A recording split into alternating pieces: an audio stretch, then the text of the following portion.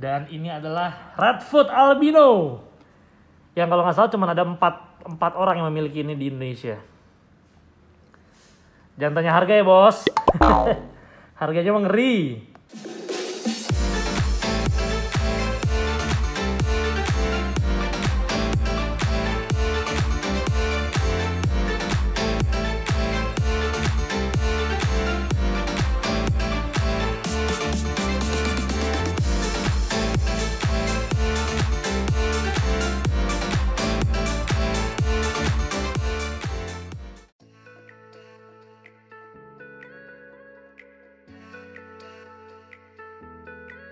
di radiotorto.id Duta Racun Tortoise Indonesia. Selamat datang kembali di sebuah channel yang hobinya meracunkan lu terus akan dunia tortoise. Apalagi kalau bukan radiotorto.id Masih bersama gue Mimin Radio Torto Raditya Hardanto ya. Silahkan di follow Instagram kita at radiotorto.id buat yang belum follow. Dan juga di subscribe channel ini dulu Radio Torto Kalau ada iklan jangan di skip ya bos. Thank you. Nah di video kali ini gue lagi di jalan menuju ke eh, sebuah apartemen di Jakarta karena gue mau menyambangi Crazy Rich Surabaya. Ngomong, maaf. Crazy Rich Surabaya yang sedang berada di Jakarta untuk mengikuti kontes, kontes raptil, kontes torto. Dan dia bawa torto-torto ajib bro. Widih, ada Redfoot Albino, ada Leopkata, ada segala macam uh, super rare tortoise yang harganya pasti uh, puluhan dan juga ratusan juta per ekornya. Wow. Ya, uh, ini gue lagi on the way ke sana. Uh, kita mau ketemuan sama dia dulu sebelum nanti kita juga bakal menuju ke kontes raptil di daerah Glodok, Jakarta Utara. Bersiaplah untuk menikmati sajian torto-torto cakep yang ada di Indonesia. Ini punya sama Crazy Crazy. Ini punya sama Crazy Rich Surabaya ini ya.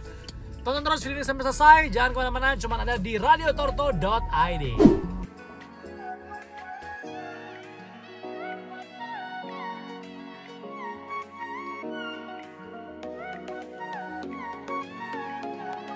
Akhirnya bisa memegang langsung. Ini nggak sembarangan nih bisa megang eh, dua hewan begini nih. Ini adalah red kata perkawinan silang antara Redfoot dan Sulcata. Dan ini adalah Redfoot albino. Yang kalau nggak salah cuma ada empat, empat orang yang memiliki ini di Indonesia. Jangan tanya harga ya bos. Harganya emang ngeri. Tapi ini bagus banget sih emang. Emang dari kelas-kelas albino tuh ya, dari mulai Marginata albino, Sulcata albino, dan segala albino lain memang secara eh, market ini sih yang paling mahal harganya ya, Redfoot albino. Karena yang bagus banget. Tuh ya.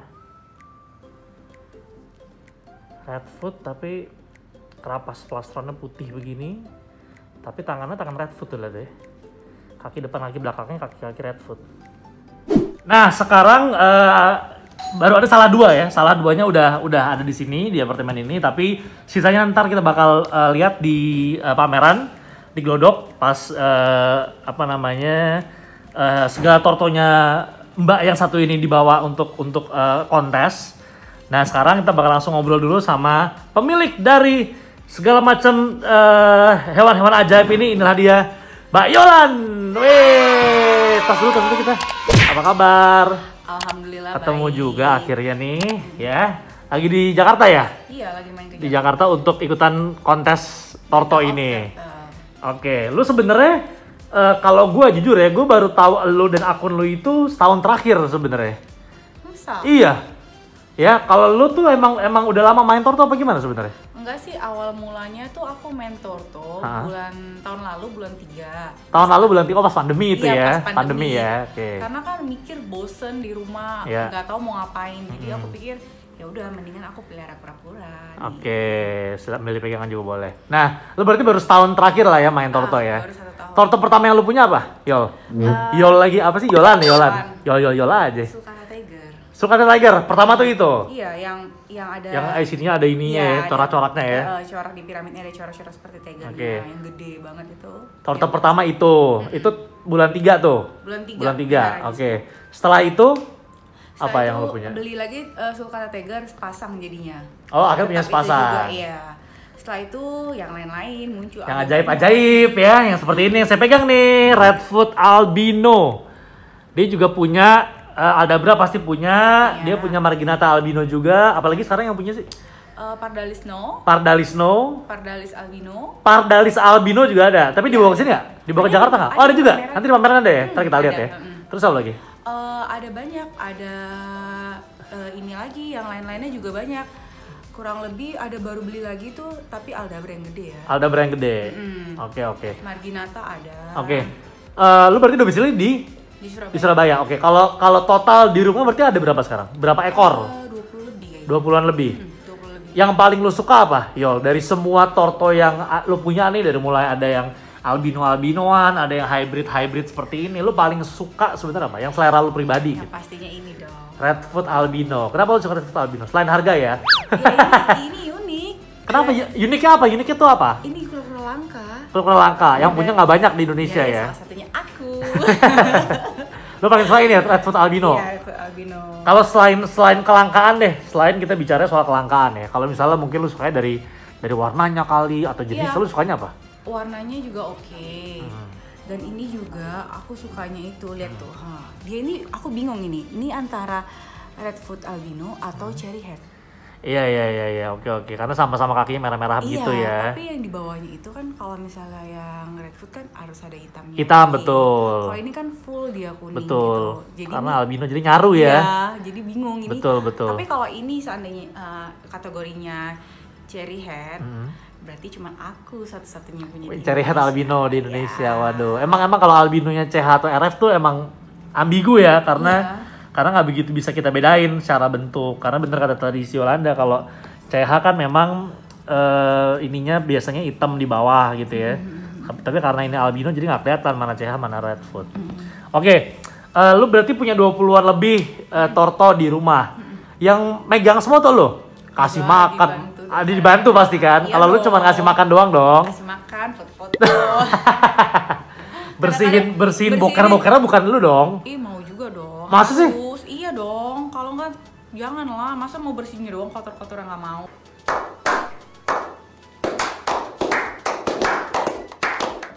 oh jadi juga bersihin kandangnya bersihin segala tai tai Iya, juga lu juga kadang-kadang ikut lomba dia mau beser loh mau oke loh bau kadang-kadang. Diberesin juga tapi ya? Ya pasti. Oke, kalau oke. masih kecil gini ya oke. Untuk dibawa diberesin ya oke. Tapi kalau yang tiger agak susah berat karena udah gede. Eh, Aldabra lebih susah lebih dan liar. iya iya. Secara kotoran juga lebih Iya, lebih liar lagi ya iya, iya. lebih menjijikan ya. Iya. oke. Nah kalau lu sebenarnya di rumah tuh selain torto juga ada hewan-hewan lain juga? Apa fokus ke torto aja? Nggak, torto aja. emang cuma torto ya? Alasan utama lu suka torto apa sih sebenarnya Soto, aku tuh suka torto karena pemeliharaannya tuh gampang. pemeliharaannya gampang Uh, terus uh, istilahnya aku nggak suka uh, apa yang ribet-ribet gitu aku nggak suka. Iya, aku iya, iya. agak-agak gimana gitu kalau melihara yang lain kan istilah agak ribet. Kalau ini kan oke ya dipeliharanya gampang dibersihin, kasih makan dan Iya. makanannya juga ya paling kembang sepatu. Iya, gampang ya. Kalau yang ini agak lebih unik. kalau itu apa Ah, biasanya dia kasih makan udang, strawberry. Iya, banyak protein hewani sama buah-buahnya ya. Tapi yang udang sama eh, yang salmon tuh jarang sih. Iya, iya, Dia iya. kebanyakan sih sayur, terus strawberry gitu. Cara perawatan gampang gitu-gitu. ya. Makannya juga murah-murah, makanan di tukang Iya, sayur dan- banyak gitu dan ya. mereka ini lucu kalau makan rakus-rakus tahu. Jadi dilihatnya enak ya. Iya, dilihatnya enak. Oke, oke, oke. Oke, jadi eh, lu kan tadi bilang lu juga melihara sendiri walaupun ada kiper yang ngebantuin kan di rumah ya. Kalau lu melihara ini sehari-hari gimana biasanya?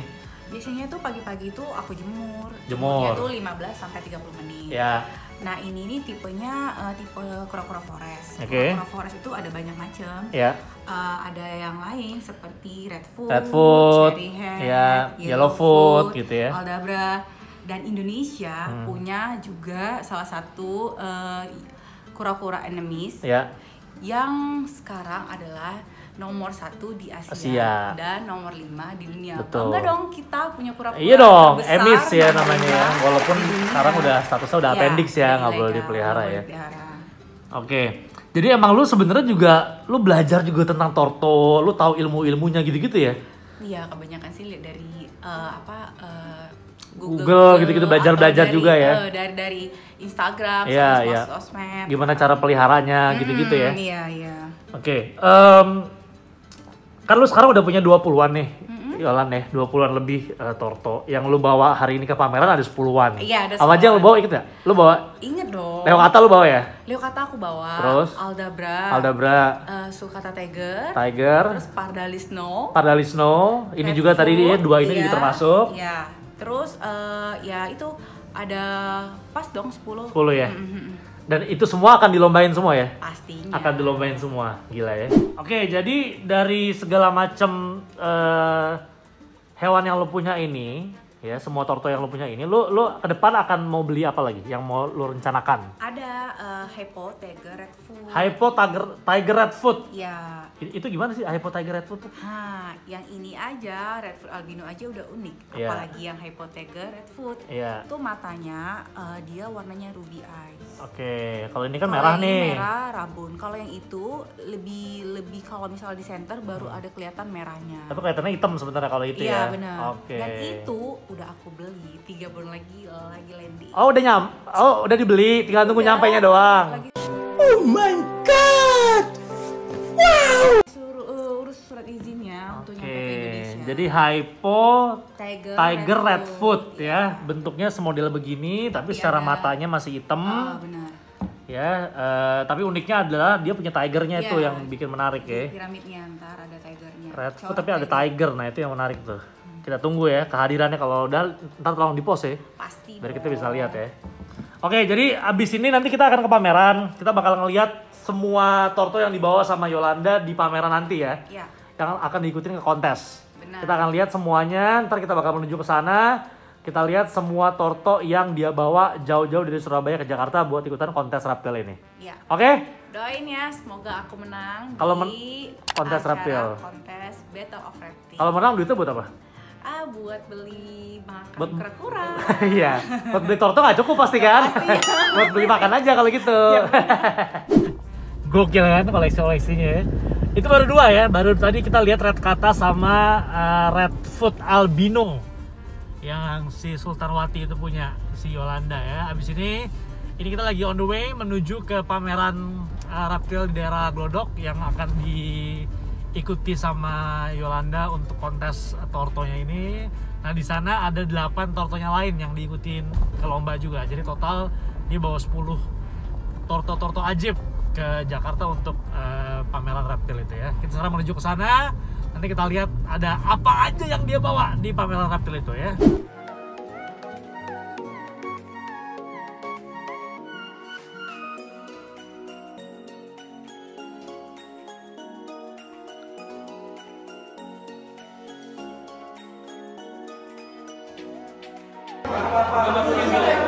Oke, ini kita lagi ada di tempatnya Super Reptil, desainnya dia di pameran Glodok. Ya, Yolanda udah ada di sini. Hai. Nah, kita mau lihat mana-mana aja yang dia bawa untuk dimasukin ke kontes. Mana lagi selain dua tadi ya? Nih, aku punya Oh, ini dia nih. Pardalis albino. albino. Widih, cakep bener. Ini juga ikut ya kontesnya ya. Coba dong. Oke. Oke, taruh dulu, kita amankan dulu. Mana lagi? Ayo, ayo. Ini ini yang tadi udah ya. Ini yang RF albino, ini yang red katanya. Ah, ini dia satu Itu juga? Iya. Sul Sulcata. kata albino. Oke, ini juga diikutin juga kontes. Ini Siap. namanya mochi. Namanya Karena mochi. Bulat banget macam Iya mochi. bener ya, smooth banget ya, nggak ada Iya, meeting ya. Oke, lanjut lagi. Mana lagi? Ini dia. Tiger ya? Ya, Sulcata Tiger. Tiger yang ini. Ini udah gede. Terus Ini Aldabra Aldabra, ini, iya, Aldabra. smooth, Aldabra medium bulat. Oke, Tiger, Aldabra. Ah, ini, Ini juga ada Pardalis. Pardalis Snow. Oke. Tortoise Sultan semua, bos. Eh, ini itu Andrew. Yang lebih kecil namanya Iki. Ini tiger juga, tapi tigernya memang bener-bener keren banget. Sampingnya putih-putih semua bahkan. Oke. Bogor. Ini ini Aldabras no. Rifandi. Udah ya? Oh. Eh kata di atas. Satu lagi terakhir ini adalah layout kata. Iya. Ini dia kata ini red kata nih. Ini yang diikutsertakan ke kontes ya. Ya.